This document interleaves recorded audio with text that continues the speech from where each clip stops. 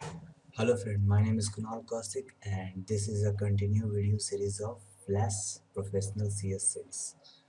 So today what we are going to learn is the path or guide of your motion or you can say motion guide. So let's start without talking much. All you need to do is just draw any shape that you like that uh, what I mean is the shape that you have to convert into symbol. That means the guide will work on symbol.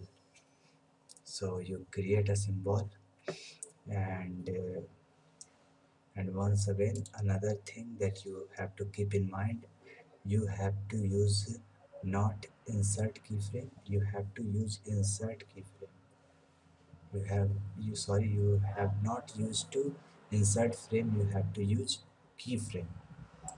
Insert keyframe. And then take another layer. Or you can say right click and add a classic motion guide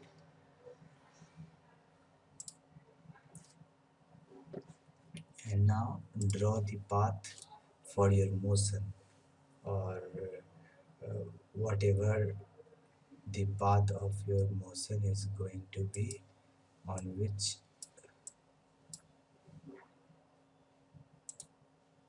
your object going to move across. So let's start. And yes as you can see there it is not uh, you cannot able to select create motion tween. You have to select create classic tween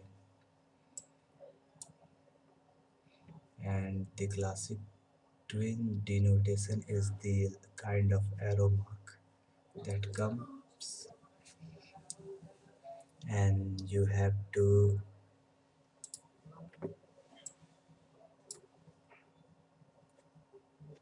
it kind it is a kind of snipping. You can say it will automatically stick with that path. Just all you need to do just to help. And now the path the end path. And now as you hit the enter you can see it will move on path. And one interesting thing about uh, this is when you run in test run you will not able to watch the guide line or path of that guide. And that is really interesting because you don't want to show your guide or path. You just want to make a path. And this is very helpful in terms of animation many times we need a predefined very minutely path on which you want to track your animation. And this is how you can do. Uh, hope you guys like. And uh, if you like my video then please put likes as usual. And thanks for watching